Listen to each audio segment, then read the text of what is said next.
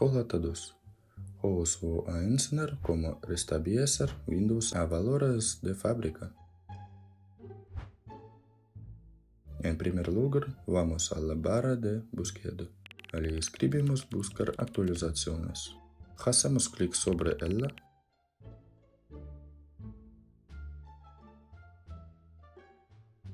Se abren las opciones Luego hacemos clic en Recuperation. O hacemos clic aquí. Se abren los menús.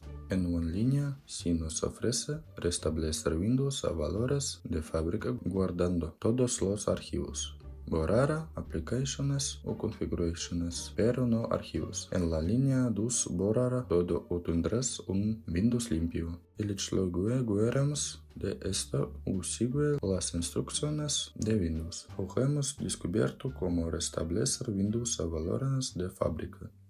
Gracias por vernos.